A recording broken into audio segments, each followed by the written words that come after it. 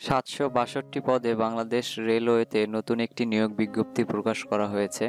নিয়োগ বিজ্ঞপ্তিটি আজকেই প্রকাশিত হয়েছে মানে চোদ্দোই নভেম্বর দুই হাজার একুশ। হ্যালো বন্ধুরা, কেমন আছেন সবাই? বিডি জবস ফর ইউ চ্যানেলের পক্ষ থেকে আপনাদেরকে স্বাগত তো আজকের এই নিয়োগ বিজ্ঞপ্তি নিয়ে এখন আমি আলোচনা করব। নিয়োগ বিজ্ঞপ্তিটি বাংলাদেশ রেলওয়ের।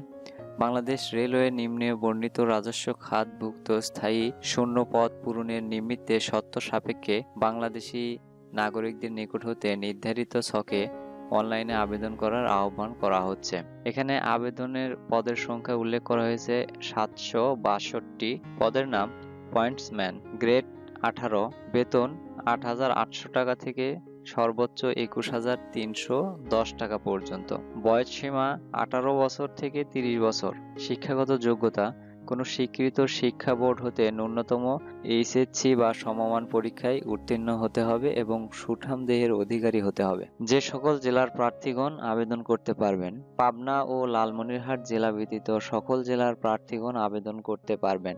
তবে এতিম ও শারীরিক প্রতিবন্ধী এবং রেলওয়ে পোষ্য কোঠায় সকল জেলার প্রার্থী আবেদন করতে পারবেন। এখন আসি প্রার্থীর বয়স। যে সকল প্রার্থীর বয়স পনেরোই নভেম্বর দুই হাজার একুশ তারিখে আঠারো বছর পূর্ণ হবে মানে আগামীকাল যাদের বয়স আঠারো বছর পূর্ণ হবে এবং পঁচিশ মার্চ দুই হাজার বিশ সালে যাদের বয়স তিরিশ বছর হয়েছে, তারা আবেদনের যোগ্য বলে বিবেচিত হবে। তবে যে সকল বীর মুক্তিযোদ্ধা এবং শহীদ বীর মুক্তিযোদ্ধার পুত্র ও কন্যায় এবং শারীরিক প্রতিবন্ধীদের ক্ষেত্রে বয়স পঁচিশ মার্চ দুই হাজার বিশ তারিখে সর্বোচ্চ বত্রিশ বছর পূর্ণ হলে তারা আবেদন করার যোগ্য বলে বিবেচিত হবে। বয়সের ক্ষেত্রে কোনো প্রকার এফিডেভিট গ্রহণযোগ্য হবে না। আবেদনের সময়সীমা। যে সকল প্রার্থী আবেদন করতে ইচ্ছুক, তাদেরকে আগামী তেইশ নভেম্বর সকাল দশটা থেকে আবেদনপত্র পূরণ করে জমা দিতে হবে। আগামী তেইশ নভেম্বর সকাল দশটা থেকে।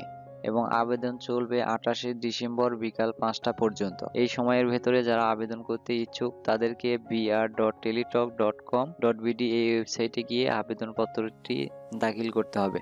এই ওয়েবসাইটের লিঙ্ক আমি আমার ভিডিওর ডিসক্রিপশন বক্সে দিয়ে দেবো, সেখান থেকে গিয়ে আপনারা আবেদন করতে পারবেন। আবেদন ফি প্রার্থীকে সর্বমোট ছাপ্পান্ন টাকা আবেদন ফি প্রদান করতে হবে।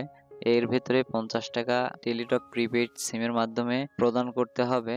আর বাকি ছয় টাকা সার্ভিস চার্জ হিসেবে কেটে নেবে। তো যারা আবেদন করতে চাচ্ছেন এই সার্কুলারে তারা আগামী তেইশ তারিখ থেকে আবেদনপত্র দাখিলের সময় শুরু হবে। আগামী তেইশ তারিখ থেকে আপনারা আবেদন করতে পারবেন। এই আবেদন সম্পর্কে আরও বিস্তারিত জানতে হলে এই website W W dot BD jobs for you dot com এই ওয়েবসাইটে এসেও আবেদনপত্রটির বিস্তারিত পড়ে নিতে পারেন। এখানে অফিসিয়াল নিয়োগ বিজ্ঞপ্তি দেয়া আছে, এটা আপনারা ভালোভাবে পড়ে নিলে আরও ভালোভাবে বুঝতে পারবেন। তো আমি বলব যে, যারা আবেদন করতে চাচ্ছেন, তারা অবশ্যই আবেদন করার পূর্বে এই সার্কুলারটি সুন্দরভাবে পড়ে নেবেন এবং তারপরে আপনারা আবেদন করবেন। তো এই ছিল আজকের নিয়োগ বিজ্ঞপ্তি। ধন্যবাদ সবাইকে।